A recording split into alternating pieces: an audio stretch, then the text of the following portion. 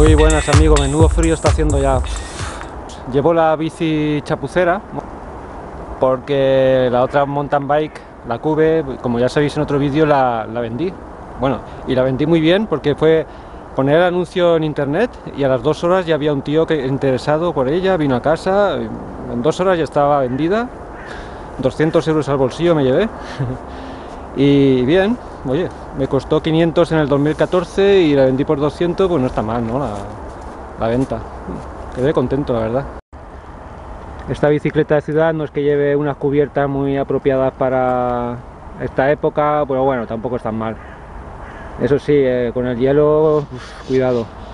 Podía ponerle las cubiertas de invierno, las Sualve Winter con clavos, a la, la Sualve Marathon Winter con clavos, a la Gravel, como el año pasado, el anterior, pero la verdad es que tampoco sirven mucho los clavos, ¿eh? la, leche te la pega sí o sí, ya me pegué varias leches, con... hace un frío que pela.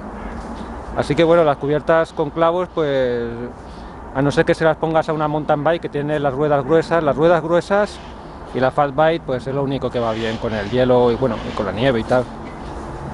Una, cualquier bicicleta con las ruedas un poco anchas hasta una ciudad va bien por la nieve a no ser que sea mucha nieve.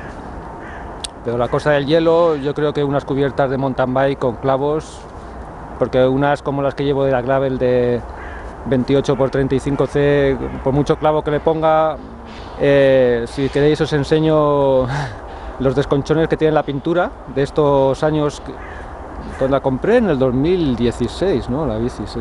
6, 7, unos 3 años y tiene ya una cantidad de, de, caídas en invierno, alguna me pegué en verano y tal pero casi todas las caídas en invierno y pues tiene unos pelones lo que es la chapa y pintura de la bicicleta tiene sus marcas de guerra, la bicicleta gravel, es acero, cromo y eso aguanta, vamos. Mirad, mirad qué, qué careto llevo, qué ojeras. Esto es de, de, levantarnos, nos levantamos todos los días a las 6 de la mañana para llevar a, bueno, para llevar yo a Isidro a, al autobús que lo lleva al colegio. Mi pobre hijo se levanta a las 6 y media todas las mañanas. Y luego se nos acostumbra al cuerpo y en vez de dormir, un sábado o un domingo cualquiera, a las 6 ya estamos despiertos y tenemos ya unas ojeras Estuve viendo fotos de cuando vinimos aquí a Alemania hace cinco años y la verdad que nos vemos un poco más viejos, ¿eh? nos han salido más arrugas de las preocupaciones, de la vida dura aquí, de, del estrés. Uf, estamos como más viejos, tú, han pasado cinco años.